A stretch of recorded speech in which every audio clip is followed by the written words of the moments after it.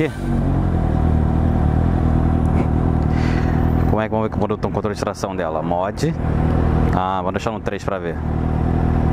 Vamos ver como é que ela se comporta.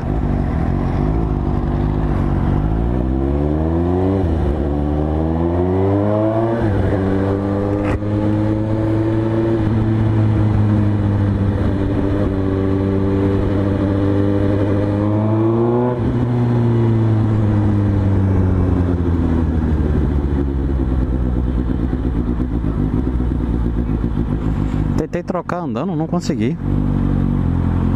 Vamos ver aqui.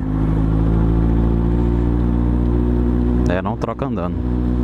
Se eu botar, o neutro andando, pera aí, vamos ver. É, andando não vai. Ah, foi. Ah, então tá fácil. Tem que aprender a mexer nisso ainda.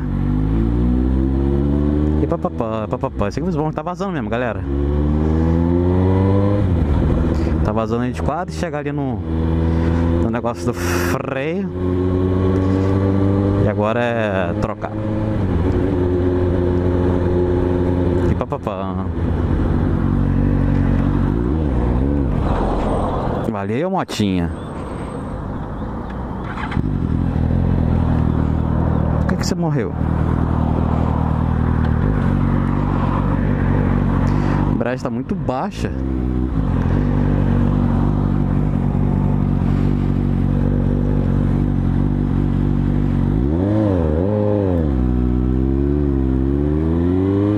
Agora foi. Doideira, mano. Tem que ver esse negócio do sensor pra ela ligar rápido. Que se isso acontecer, você precisa ligar moto rápido, né? Eu tô acostumado com a embreagem da moto, mas ela aqui, ó, realmente, ó, tá com muita folga. ó. E.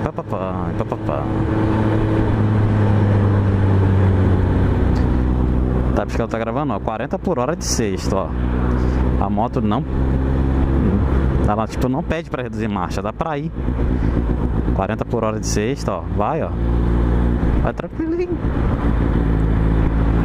Precisa nem ficar pra passear, precisa nem ficar reduzindo, trocando de marcha toda hora, não.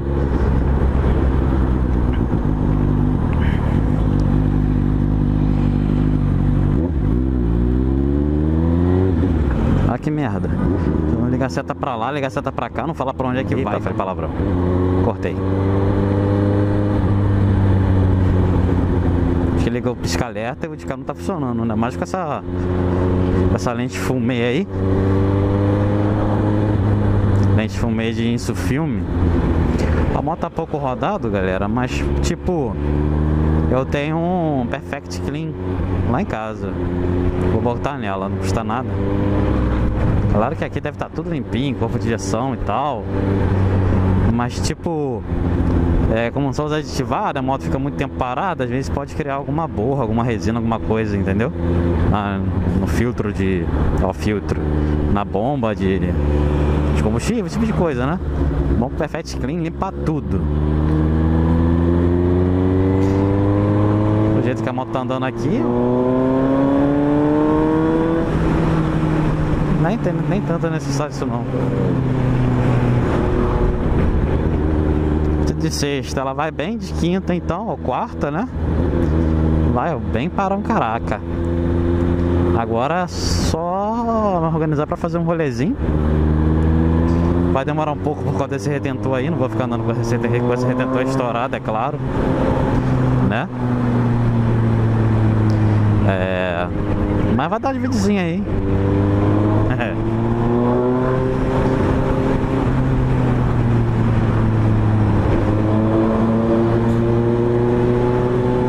tem que ter cuidado, que acontece muito acidente por aqui, por incrível que pareça.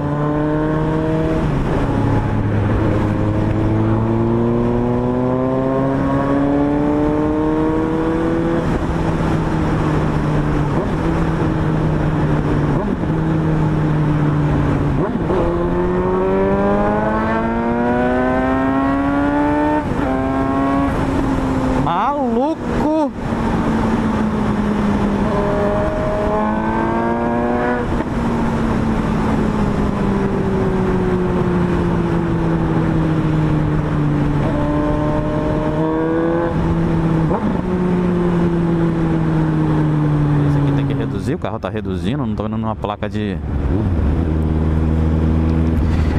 fiscalização eletrônica 50 por hora na frente, então tá bem. Ó.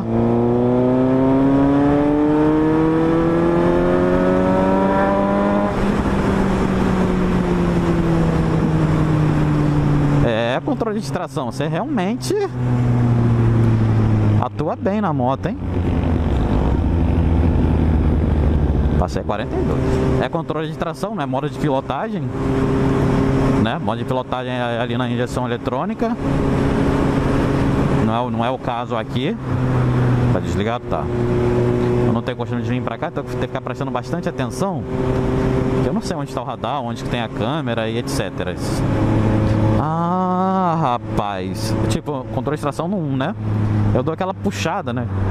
E a moto não empina. Você pode se desligar com certeza, se naquela arrancadinha de primeira ela vai levantar a frente. Tipo a CB1000. CB1000, se você está de primeira e não controlar direito a embreagem, ela vai, vai levantar. A CBR 600 não levantava. Ela ia, não levantava, mas ela não tinha tanto torque assim de início. Tá com pressa aí, tio. Ai, ai, ai. Neutrim. Abriu.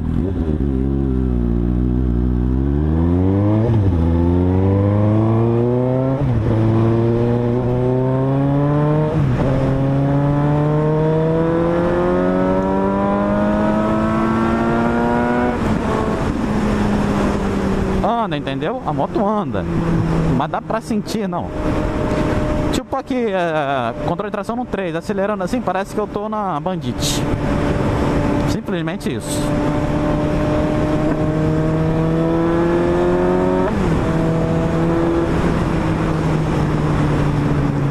Parece que eu tô na Bandit, só isso. No 2 deve ser a CBR 600 F. No 1 é ela e sem controle de tração deve ser o cavalo. Esse tiozão tá acelerando.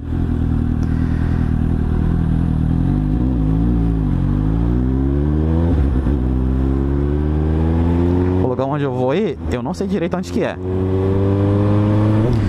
mandou localização, eu dei uma olhadinha básica mesmo. E vou ir na coragem, porque eu, se perder é legal. é aqui pertinho, tá quase chegando. A radarzinha aqui de 60 aqui, ó. Esse radar aqui, olha, se ele te multar, só você recorrer. Ah, essa nova lei agora. Que esse radarzinho assim, só com uma plaquinha, escondido atrás da árvore, isso aí não pode mais não. Fabricado no Brasil. Tigo X5 Turbo. Esse aí é brabo, hein? É por isso que esse cara tava acelerando lá. Jeep Compass. X11 Motors. Toda vez que eu passo aqui, acho que é a marca do capacete, do casaco, X11. Nessa rua aqui, ó. Isso mesmo, naquela rua ali. Tá fácil. Se não for essa, a gente olha no mapa e se perde por aí.